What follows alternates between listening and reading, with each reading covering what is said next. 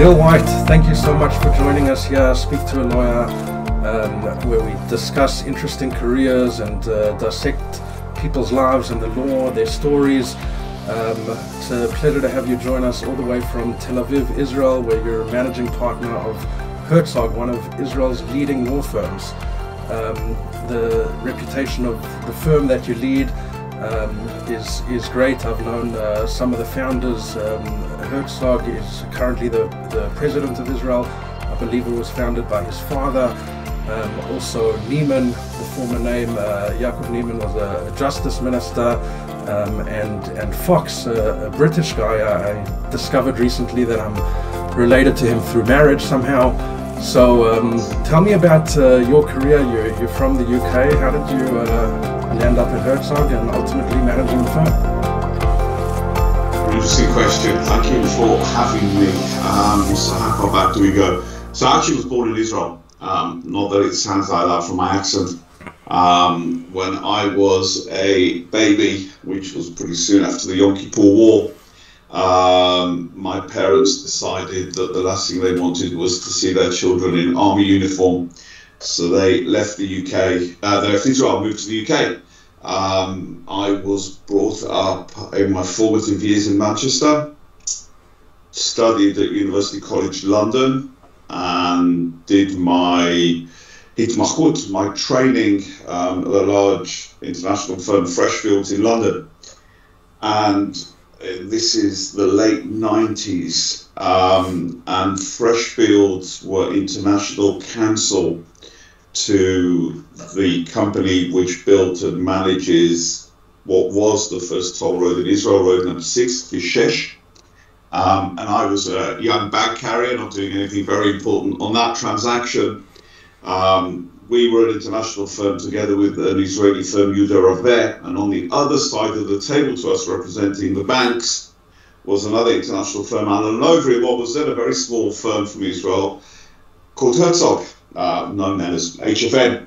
Um, we get to the end of the transaction, so we're now in 1999, and for some strange reason, um, they think maybe we're a good idea to give this young guy an offer to make Aliyah and come and be a finance lawyer, uh, project finance lawyer in Israel. So on the 22nd of March 2000, for the first time, I walk into the office of Herzog.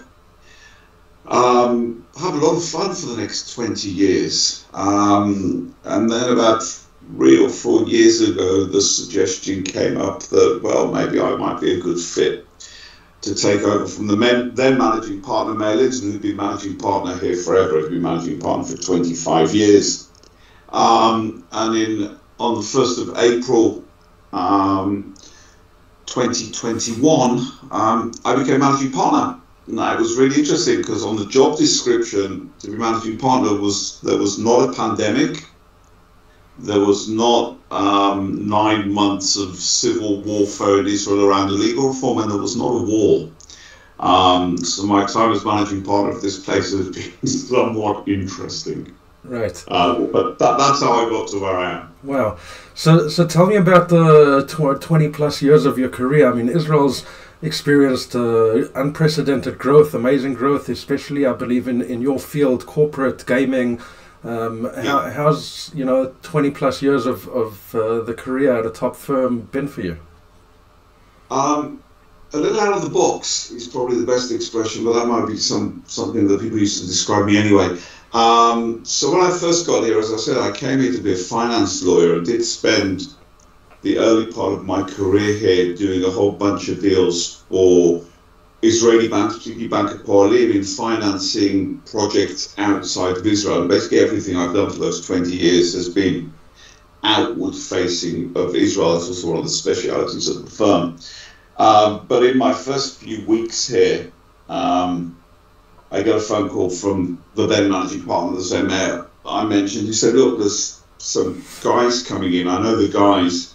Um, I don't exactly know what they do. He said, This is probably May 2000. He said something to do with roulette wheels. I've never been in a casino. Something to do with the internet. This was the then managing partner of a law firm in Israel. I'm not really sure what the internet is. I walk in a room, I meet the founders of a company that became known as 888. Um, I very quickly stopped being a um, suited and booted finance lawyer um, and became an internet gaming lawyer and have really spent my career advising almost every gaming company one can think of, both Israeli and non-Israeli. One of my biggest clients is the largest um, gaming company out of Romania, um, and I have a whole amazing team here.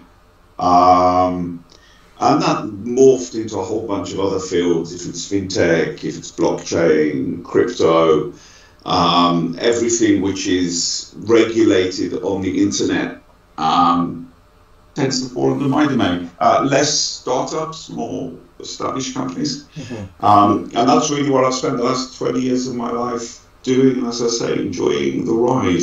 Wow. Uh, I mean, it's an interesting discussion about the regulation and compliance you mentioned in these new industries. I, I, started the early part of my career doing compliance at the big financial institutions uh, in Israel, and financial institutions are have a lot more developed or mature compliance regimes.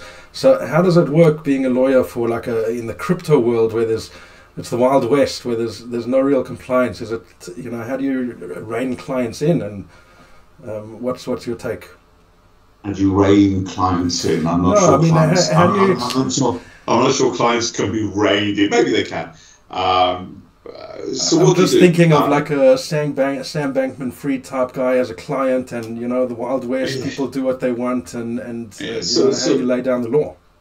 So, so it's, uh, look, it's an interesting question. Um, I'll start in the gaming sphere, then I'll move to crypto. Um, so back in my early days as a internet gaming lawyer, and remember that the gaming world is normally bricks and mortar, right? It's a casino in the UK, it's a betting shop, it's a slot machine parlor. So countries know how to regulate and license physical venues.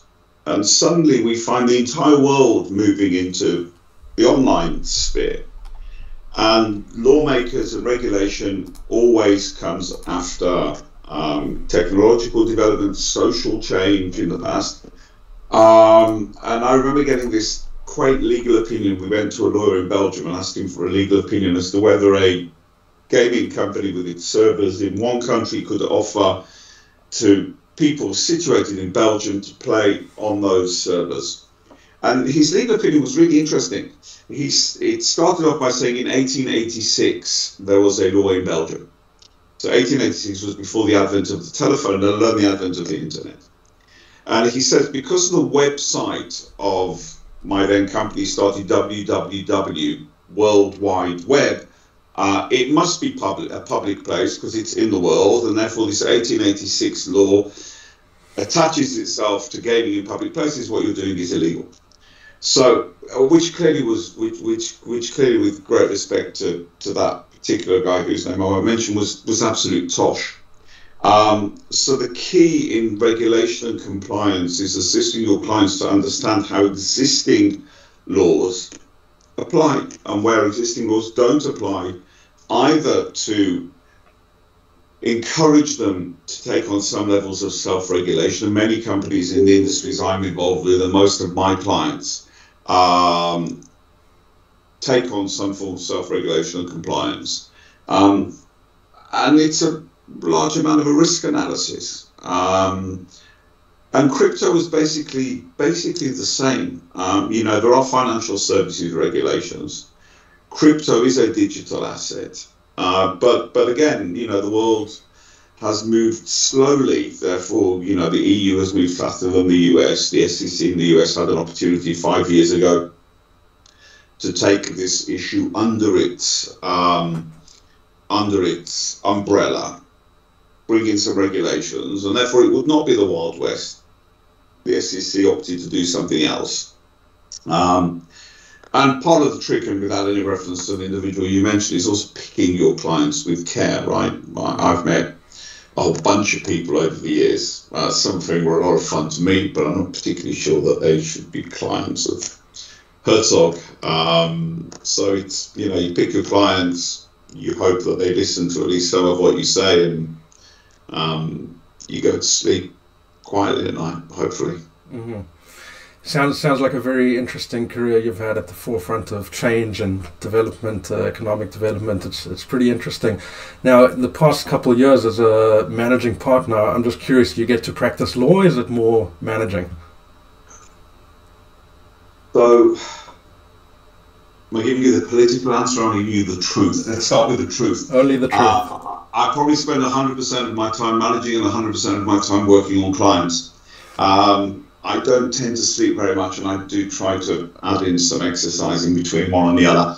Um, look, I'm probably spending 60% of my time managing and 40% of my time dealing with clients. It ebbs and flows over time. You know, I've probably since the 7th of October and the war in Israel spent more time managing and less time with clients, and mm-hmm. so it moves. But probably two thirds of my time is managing, it, and a third of my time is clients because I actually quite enjoy like some of my clients, so it's fun to keep up to speed with them and keep involved a little. Nice. So, I mean, you mentioned the 7th of October. I mean, everything must have changed so uh, drastically since then. Um, starting from a, a, a, macro kind of economic point of view, has has Israel been affected? What's the economics like in Israel? Uh, you know, are there, are there deals happening uh, these days? And more more specifically, like uh, Herzog and the lawyers. I mean, I know um, a lot of the workforce has been emptied out and gone to serve on the front line. So, how have you dealt with everything? Um, so my favourite expression during this war is that I just about know what's happening today, so don't ask me what's happening tomorrow. So the good thing is your question relates to the past, so I can answer the past.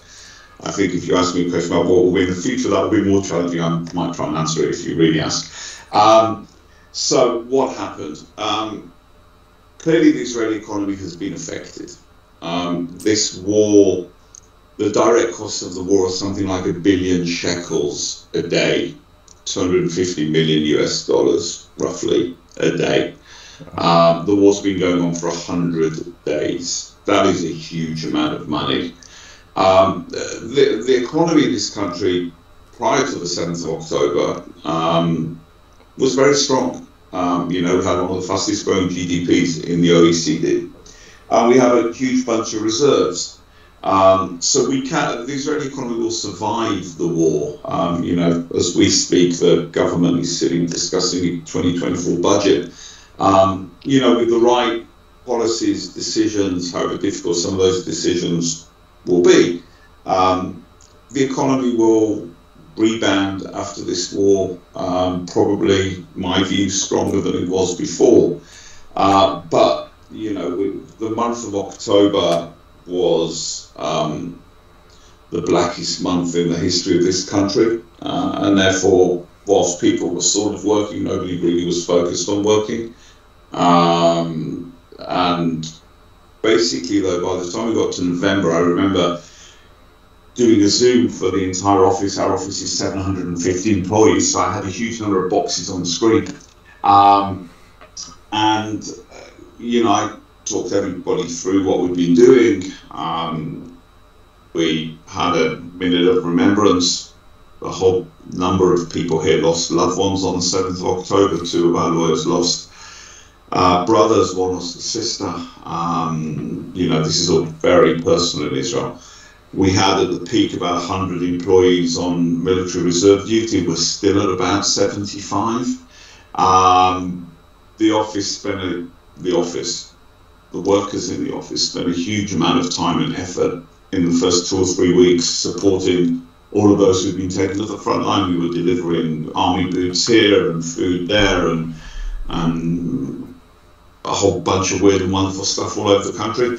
But by the time we got to the start of November, um, you know, the economy is part of the war, and the economy functioning is an important part of the war. So I gathered um, everybody who wasn't on reserve duty on Zoom and look, I do understand that nobody really is focused on work. I have two children in the army. I'm not particularly focused on work, but the functioning of this office, the fact that when 100 people are on reserve duty, we still feed their families at the end of every month, the fact that Um, you know, on top of that 100, we probably have another 60 or 70 either with spouses or children in the army. The place needs to function, um, and we need to make sure that at the end of the month there is from where to pay salaries. And really, the commitment of everybody to getting back to the coalface and working was blew me away.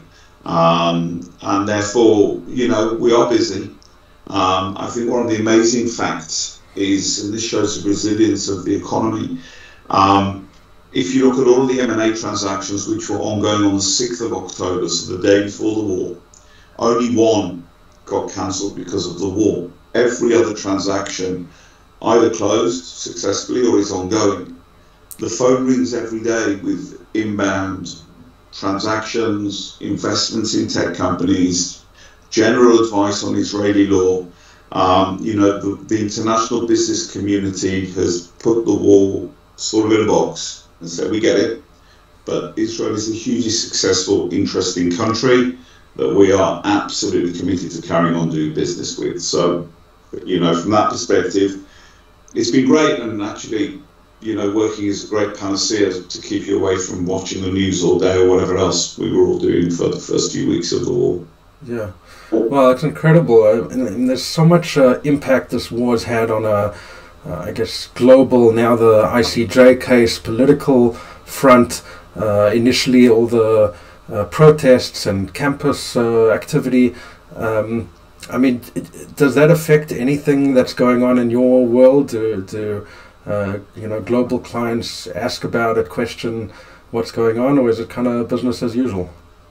Um, so clearly, during the month of October, everybody was asking what was going on. Um, not just everyone was asking what was going on, the outpouring of support and affection that we got from all over the globe was mind blowing. Um, you know, the, the lifeblood of this office is international relationships. Um, we are the hub of a huge amount of inbound investment into Israel, but also the practice I deal with outbound investment by Israelis outside of Israel. Um, I must have received in the first two weeks hundreds and hundreds and hundreds of messages by email, by WhatsApp, on LinkedIn, on Facebook, on every medium you can think of, from almost every jurisdiction you can think of. Um, so that was really, really heartwarming. Um, and I do think that most people who understand this country and invest in this country and do business in this country realize that unfortunately conflict is part of the DNA. Um, and therefore, as I said, people were very focused in the first two or three weeks. You know, multinationals who have offices in Israel, you know, if that's the Amazons or Facebooks or Apples or Microsoft or G's of this world, were okay, what's going on? How does this impact our employees? Mm-hmm. Three weeks later, that was no longer a topic of conversation, thankfully. Mm-hmm. Yeah, and I saw Intel even uh, increase their investment uh, into Israel. Quite absolutely, quite incredible. Uh, last week I was watching the the ICJ spectacle. Um, what's what's the feeling in Israel about this? Uh, are people uh, aware of it or care about it? And I know as lawyers, but the, the public more generally speaking, what's what's the feeling? So it's, it's amazing how suddenly the International Court of Justice has caught everybody's eye. Um, and I've heard from many, many people that they were sitting watching this court hearing.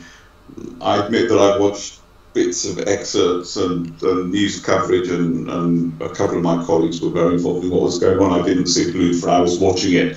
Um, the ICJ, um, on the one hand, is the highest courts tribunal in the world. Um, on the other hand, it's part of the United Nations, and the United Nations, not just from an Israel perspective, but particularly from, an Israel perspective, is a very, very difficult, biased organization. Um, so when you look at the case at hand, and this is not the only case involving Israel in the ICJ, but the South Africa case is obviously the one that has taken the headlines. Um, the case is absolutely, and lawyers don't normally use this terminology, either do I normally. This case is absolutely and totally baseless. There is absolutely no evidence whatsoever that Israel is committing genocide in Gaza. To commit genocide, one needs to have, without getting into illegalness, has the intention to kill a people because of their definition. Israel was subject to a genocide on the 7th of October. Um, Hamas invaded Israel, a sovereign country, with the sole intention of killing Jews. Unfortunately, um, in their barbarism, they also had no issue with killing Arabs and Christians along the way, and we mourn them just as we mourn the Jews who were lost. Um, South Africa was the first country on the 8th of October so the day after the Hamas invasion, whilst we were still counting our dead, South Africa was the first country to issue a statement which basically said the 7th of October was Israel's fault. South Africa was the first country to host a solidarity delegation from Hamas. Um, and therefore, we, whilst we take these proceedings seriously because they are in the International Court of Justice, um, South Africa is, as it has always been, unfortunately, South Africa is a country and a people that I have a lot of time and affection for. Um, but since the fall of apartheid, South Africa could have turned into um, into this amazing economic jurisdiction. Um, sort of reminds me a little of Gaza because Gaza should have been Singapore. Um, so, you know, I think the Israeli legal team on Friday, uh, from what I saw and heard, did a really, really excellent job in setting out the case. It's always difficult when you're defending a case which has no substance to it, but but we will, and we'll see how it plays out. You know, that when you look at the composition of the of the judges there. Um, I'm pretty sure the judge from Lebanon is not going to find in favour of Israel, and the judge from China probably won't either. But there's a whole bunch of Westerners there who um, we imagine are slightly more scholarly and less politically influenced than others. Mm-hmm. Well, wishing Israel only uh, success and complete victory over there, not only in Gaza, in the court, and all around the world for that matter. Uh, our hearts are with you. I want to get to some uh, general questions now. Just uh, if you picture the young lawyer kind of in law school or trying to graduate or about to graduate, um, a general question Do you have an area of law which you think is up and coming that you suggest someone who's undecided go into? Uh, that's an interesting question because I, I, I, sit a lot with students. It's actually one, one of the things I enjoy doing the most is when I get invited to sit with students or students reach out to me on social media. Um, I love engaging. It's, it's, it's great. It's fun. Um, the key is to find something you enjoy doing. And, and I'm trying not to give a cliche answer. But at the end of the day, being a lawyer is a pretty demanding job. And therefore, if you're going to go into a profession, which, you know, as I said already, I really enjoy what I do. Um, but if you're going to go into a profession, you need to go into an area which interests you. Um, and there are a huge number of opportunities in the law. Um, you know, some people watch LA Law and Suits, and all they want to be is a litigator, go to court and objection, me lord, and that's great. And there are other people who have a penchant for real estate. Um, there are people who the high tech world fascinates them. Um, you know, there are people who look at the environmental issues in the world and want to help save the planet and go into environmental law. Um, so I, I, don't think there is a one niche that I'd say, look, this is where you need to go because this is how you're going to become the next um, legal billionaire. Uh, I think really the key is one to approach it with an open mind because oftentimes trainees, mitmachim, come here on their first day thinking, I want to be the next big shot M&A lawyer and don't really understand what being an M&A lawyer is or you know, I only want to work in high tech, and okay, but you don't know what high tech brings to that. So mm-hmm. the key is to come with an open mind, but find something you enjoy doing. Because uh, if you don't enjoy doing it, you won't last the marathon. Okay. Um, I, uh, good good answer, and, and the career's many way a journey, and you kind of one thing to the next the next a little bit. Um, in in Canadian law, they're very advanced in terms of software and even borderline AI, but I don't think AI just yet. It's more the heavily even reliance on software and and I talk about that from an estates lawyer, estate planning, estate administration. There's corporate software. There's software now for personal injury law and family law. There's software for real estate uh, transactions. I, I use a lot of the software. It's costly, but it is so much more efficient and accurate, and I think better for everybody. But as far as I know, Israel is quite underdeveloped in their use of software.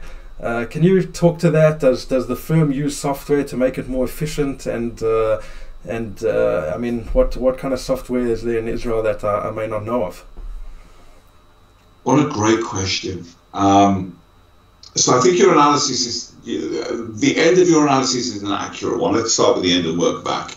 Um, law firms in the startup nation um, don't really use a lot of legal tech software. Uh, but we do. Um, and I think one, there's a challenge, and then I'll try and explain where we do use it. The challenge is that in most most real uses today of legal tech um, are particularly in the area of litigation, um, but also in the area of mass real estate. You know, if you get a shopping mall with a thousand units, um, both litigation and real estate in Israel is done in the Hebrew language and we're a small jurisdiction. And therefore, for somebody to take a international legal tech platform and translate it to Hebrew, where we're from right to left and not from left to right, and we have a different alphabet. Does the business case is a very difficult one. So there are much less. There's much less availability of product in Israel uh, than in Canada or, or the US or, or Europe. Mm-hmm. Uh, where we are using legal tech is particularly form generation, um, and therefore we have a whole bunch of tools for weird and wacky precedent which people may use, and you plug the details in, and it um, will will get you a pretty useful first draft agreement out. So that we're definitely using. Um, you know, the, the the tech world is very focused on um, these precedents. So we have a whole bunch of tools that we give to our tech clients. Um, but I'm not trying to say that we're at the forefront of legal tech. Um, what's interesting is as a jurisdiction, there's a huge amount of legal tech innovation. A whole bunch of products coming out of Israel. Um, one of my partners is that's that's his area of speciality. Um, but very few of them are actually utilized in a very small market. You know, mm-hmm. why develop a product in Hebrew if you can develop it in English and attack the world, as it were? Interesting. Okay, so I mean, without the use of legal tech, another general question for the young lawyers is: in your experience, what makes a good lawyer? What's uh, you you've probably come across the, a lot of great ones. I, I know some of them, Daniel Reisner, for example. What what what makes a great lawyer? Uh, okay, you've set the bar super high. Daniel Reisner is, is, is our example. Daniel was one of my favourite people who walk on the planet. Um, the legal profession is changing and evolving. Um, and therefore, your question is a timely one because I think what made a great lawyer five years ago, and 10 years ago, and 20 years ago, and 50 years ago is not the same as what makes a great lawyer today let's take as a given that someone understands the law, okay? Because you know you can't be a heart surgeon if you don't understand the anatomy of the heart. So let's take as a given that people understand the law, keep up to date with developments in the law, if they're statutory, if they're case law. The question is the delivery to the client. Um, you know, I always joke that when I first joined this place. This is really, really going to make me sound like a dinosaur. But I always joke with the founders of the firm, and you, you mentioned you mentioned three of them, two of whom I had the pleasure of working with. The mail used to come in the morning and in the afternoon.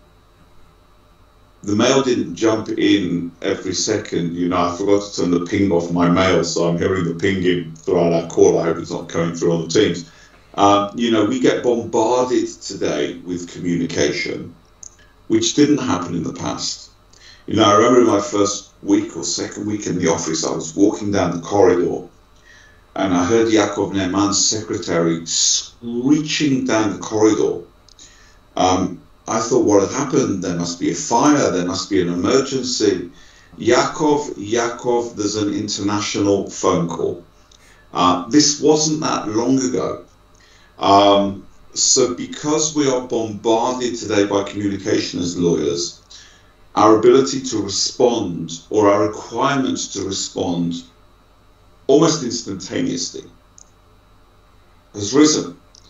Um, you know, there's famous examples that whereas in the past, if somebody asked a lawyer for a legal opinion, they'd get 20 pages, right? Assumptions, facts, legal analysis, conclusion. Uh, today, lawyers give legal opinions by a thumbs up in WhatsApp, or by this in WhatsApp, or by the word yeah. Um, so, the whole skill set of being a lawyer one, your requirement to give advice much quicker, your requirement then to give very focused advice because you don't have 20 pages to tell a whole story, right? You, um, and therefore, you must be able to articulate your advice much more succinctly, much more concisely, and in a much more relevant manner to the client. I think one of the biggest complaints I hear as managing partner from clients is I don't want theoretical advice. You know, don't tell me the law. Take it, apply to my situation, give me the bottom line. And therefore that that is what I call value added legal services. It's giving advice which is relevant to the client on a real time basis. Um, that is a totally different legal world to not that long ago actually, but that's that's a requirement there. Mm-hmm. That is the number one requirement for young lawyers, and, and I think it also makes the profession more interesting, right? It's much more dynamic. You're um, much more hectic, but much more dynamic. Yeah, it just made me think of uh, the fact that I don't like uh, billing by the hour. I prefer giving a flat fee for the client, and uh, you know the when you're responding with legal advice with a thumbs up, thumbs down, it's hard to bill too much for that type of uh, quick response. So um, you have to bill for the, the knowledge, all that you've learned over the years, but uh, it's an interesting, different structure to back in the day where you had to write a whole legal opinion. Yeah, look, you know, it's interesting that co- that that concept of hourly billing. And we are a law firm that bills by the hour. We don't. I think billing by the hour is probably only half of what we do. Everything else is fixed. Um, whoever dreamt up the concept of billing by the hour, and I've always meant to go and Google or Wikipedia, whoever dreamt up this concept, I always give the example of the plumber. You know, let's say you wake up in the morning and your kitchen sink is broken and it's all the gunges not going down the plug hole. And you phone the plumber and you say, Look, SOS, can't wash the dishes, sink is blocked, please come. Of course, plumber turns up, looks at the sink, you say to plumber, How much is this going to cost me? You expect plumber to say, $100. Plumber doesn't say $100, plumber says it costs $100 an hour. And however long it takes me is what you'll pay. You would take the plumber and throw him out of the house, right? Um, so therefore, this concept of hourly billing um, is an interesting, quaint concept. Which, which, again, we do a lot of hourly billing, but but I think the world is moving away from that slowly, but but moving away. But that, that's just one of my bugbears is hourly billing. Uh-huh. Interesting. As a, a final word, kind of what general advice would you give to either your younger self or younger lawyer or both? Um, wow. Um, make sure that this is really what you want to do. Um, and if you're not sure it's what you want to do, then try it out. Um, you know, I think one of the one of the challenges today, generally in the work environment. This was probably exacerbated post pandemic, but existed a little before. Is you know people jumping left and right and right and left and looking here and looking there, um, and the only way to really become a successful lawyer is to commit to it over time. Uh, there is one thing, and again, I'm trying not to sound like a dinosaur, but there is one thing that really differentiates lawyers from others, and you mentioned one of my partners, Daniel Rice, who's a prime example, and that's experience. You know, when you've seen more situations, your ability to give um, better advice to your clients increases, and you can't shortcut experience. So, if this is what you want to do, buy into it. Be patient. It's a really great, interesting profession, but um, takes time. Um, you know, it's not like filling in the lottery and your numbers came up. Mm-hmm. Um, I know in other jurisdictions like Canada, maybe I think something like uh, 50 60% uh, of people who pass the bar or have a law degree practice law, and the other 40 or 50% move on to other careers. Is that similar in Israel too? And, and in your experience, do, do you know uh, other kind of springboard careers? Is there any kind of natural progression? Uh, people at Herzog kind of feel not for me. What what have they gone on to succeed in if they have? Yeah, let me let me try and unravel those questions. So, you know, the old joke was every Jewish mother wanted her son or daughter to be a lawyer or a doctor, right? Um, that that disappeared now. Every Jewish mother wants their son or daughter to be a high tech entrepreneur with options and um, and IPOs and exits and all the rest of it. Um, so yes, I, am not sure exactly what the number is, but very very many people in Israel study law uh, with no intention of being lawyers. Um, I may make a politically incorrect statement. Um, too many people study law in Israel.